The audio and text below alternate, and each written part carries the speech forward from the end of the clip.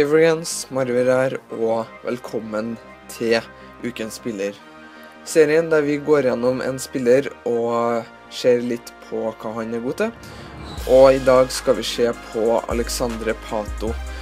Går gjennom eh, informasjonen.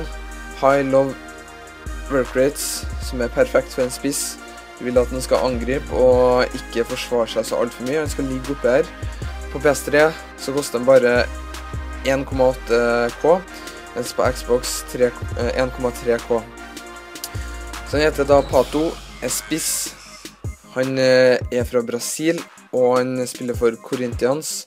Og Brasil er mm, Du kan ordne noen veldig bra Brasil-lag rundt Pato, definitivt.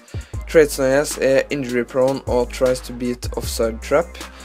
Uh, tries to beat offside trap er en veldig bra trait som jeg syns er for spissa. Uh, han ligger på linje her og, og kommer på løp bak, så det er bare å spille bakgrunnen på han. Uh, han er jo da veldig rask, som dere ser på pacen hans.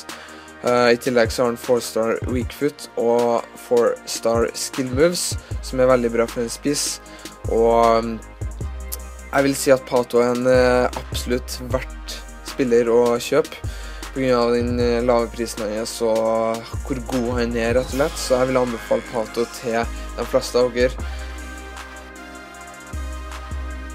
Så får dere bare se på resten av høydepunktene med Pato.